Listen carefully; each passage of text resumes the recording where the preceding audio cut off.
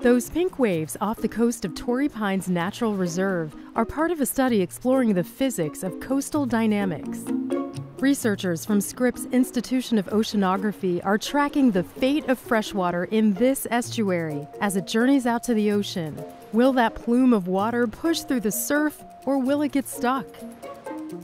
You've talked a lot about how these estuaries connect the land to the ocean. They're bringing in the sediments, the nutrients, but also the contaminants.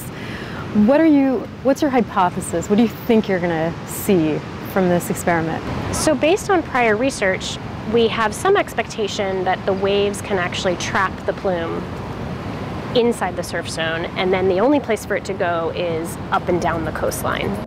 If the estuary outflow is confined to the coast, it can impact marine life and humans.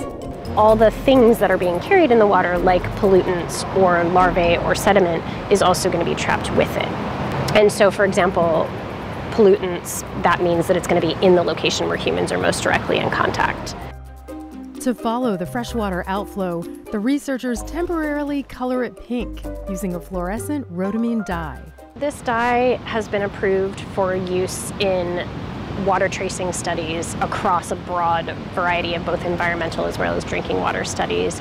It's been approved by EPA, OSHA, FDA, all the different agencies. The team tracks the dye from land, by sea, and by air using fluorometer sensors in the water and on jet skis, and a drone up above with a hyperspectral camera. We can look at swaths of water and say, at this given location, there is this concentration of fresh water um, in the surf zone or outside of the surf zone, which is the fresh water that's left the estuary.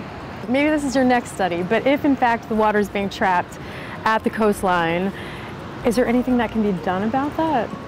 You can know something about sediment and where you might need to move sand around. It can also be important for pollution, so maybe we can better predict rather than just saying beaches are closed for 72 hours following a rainfall event. Maybe we can say, well, the beaches to the north of these outlets are closed, or to the south, depending upon the wave conditions. It's really exciting to me to be able to bring together scientists to look at this interface. There's a lot of people who study the surf zone. There's a lot of people who study estuaries, but not where they all meet.